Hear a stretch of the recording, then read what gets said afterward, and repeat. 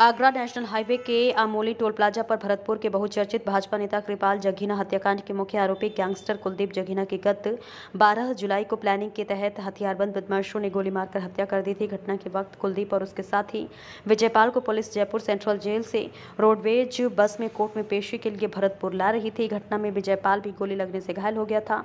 घटना के बाद बयाना सर्किल पुलिस ने तत्पर तत्परता से कार्रवाई करते हुए सोपास गाँव से मुठभेड़ में चार बदमाशों को गिरफ़्तार कर लिया था। मुठभेड़ में दो बदमाश पैर में गोली लगने से घायल हो गए थे। इनके खिलाफ रुदावल थाना पुलिस में पुलिस टीम पर फायरिंग करने का मामला दर्ज हुआ था, जिस मामले की जाँच बयाना एसएचओ की हरि नारायण मीणा कर रहे थे। डिप्टी एसपी दिनेश यादव ने बताया कि मुठभेड़ के दौरान पैर में गोली लगने से घायल हुए बदमाश उद्योग नगर थाना क्षेत्र के गाँव अजान निवासी विष्णु उर्फ़ बौना जाट और सेवर थाना इलाके के गाँव मालीपुरा निवासी बबलू गुर्जर को शनिवार को कोर्ट में पेश किया गया, जहाँ से उन्हें सत्रह जुलाई तक रिमांड पर सौंपा गया है, जबकि उनके दोनों साथी सौरभ जाट और धर्मराज पहले से ही 17 जुलाई तक के रिमांड पर चल रहे हैं। पुलिस ने बदमाशों के कब्जे से चार अवैध लोडेड कट्टे मिर्ची पाउडर, मोबाइल और कार जब्त की है।